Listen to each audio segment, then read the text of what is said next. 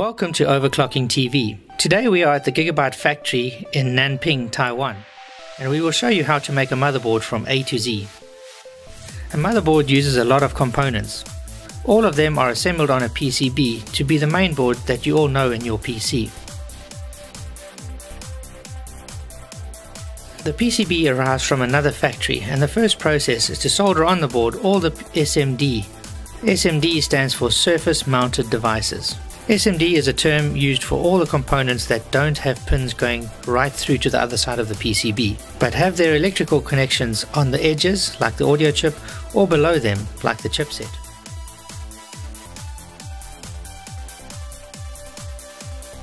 Every part of the PCB that will be in electrical contact with a component gets a special soldering paste. The solder paste acts like a glue for all these chips before going into the reflow oven for definitive soldering. In that way, every small component can stay in the right position before being soldered.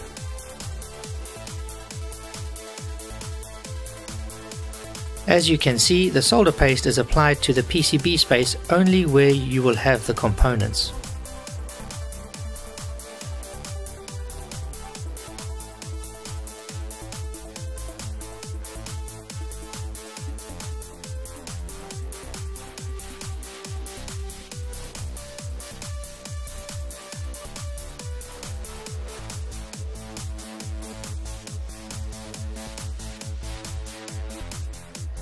All motherboards today have really thin and small components that are directly placed on the board called SMDs. The high-speed chip placer can place from 5 to 10 components per second. That's really fast.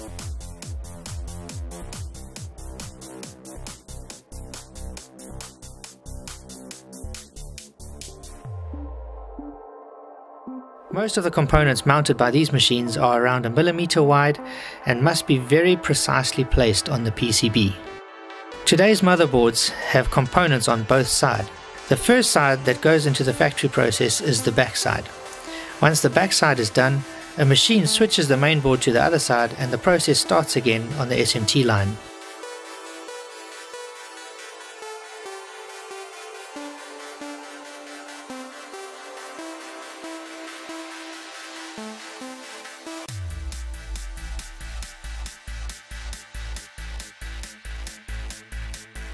After the small components, it's time to mount the chipset, CPU socket, and all the other chips that will make your motherboard work.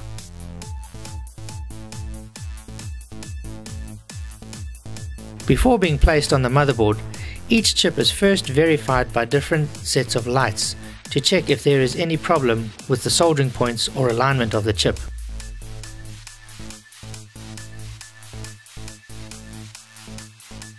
You can see that chips like the chipset, audio, SATA and USB 3 ICs are placed on the board by this machine, the same for the CPU socket. As an example, all the chips bigger than your finger are placed by this machine. At this time your motherboard has SMDs on the PCB and can go to the reflow oven for the soldering process. The soldering paste is melted by the high temperature and sticks to the components and the PCB. The temperature reaches as high as 245 degrees C as the motherboard moves through different levels. At this point, electrical connections and mechanical connections are made. Your motherboard now has all the small resistors as well as the chips and the socket. It's time for the visual inspection. This inspection avoids any misplacements or missing parts.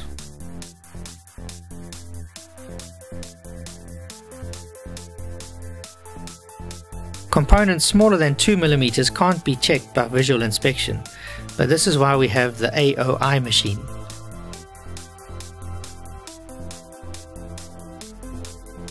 The automated optical inspection machine checks if there are any missing or misplaced components. It also checks all the components that have visible soldering points, like the audio chip.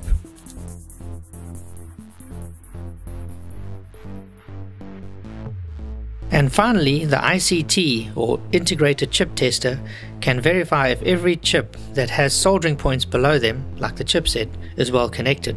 It tests if the chip is well soldered electrically to the board, but does not test if the chipset itself is working. This factory floor is dedicated to additional verification, especially for server components. Some boards are tested by X-ray to verify the quality of soldering.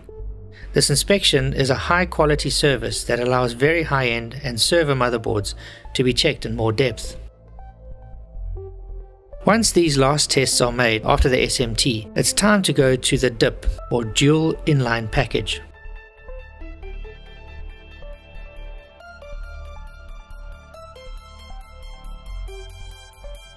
The dip stage is the second big important process when making a motherboard. First you have manual insertion. All the small components and chipsets have already been added. Now it's time to place all the other components that have pins going through the PCB. During this stage, all the components are manually inserted. You can see a long line of employees inserting the I.O. connectors, power plugs, PCI Express and RAM slots, as well as the chokes and solid capacitors around the CPU socket. Before being finally soldered to the boards, each inserted part needs to be in the right place and well positioned. This is the goal of the inspection before the wave soldering.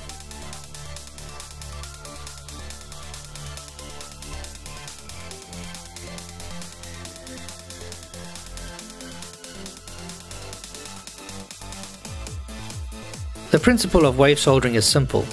The motherboard has components on one side with pins going through the PCB.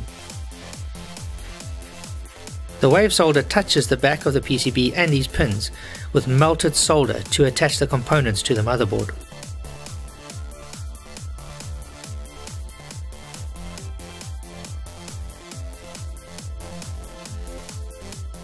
After the wave soldering process, you usually have residue that is cleaned up with a large brush, making the back of your motherboard nice and shiny.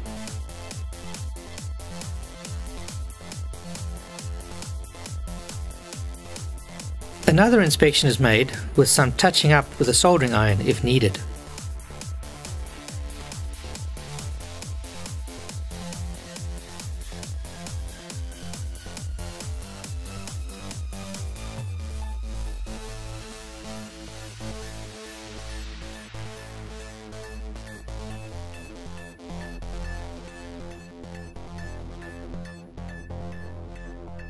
The heatsinks are mounted on the board before another inspection and checkup by the ICT or integrated chip tester.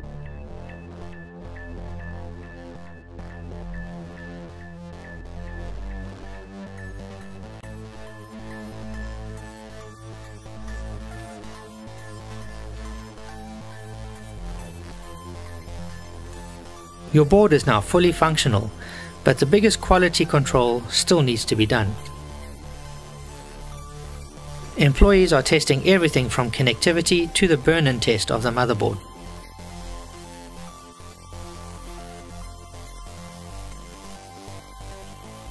The function box allows easy switch on switch off of the components as well as peripherals for testing purposes.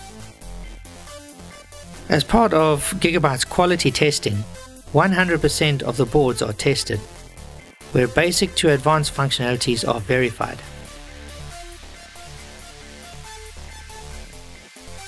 Once the board has passed all the testing and quality analysis, the boards are sent to the next process, the packaging.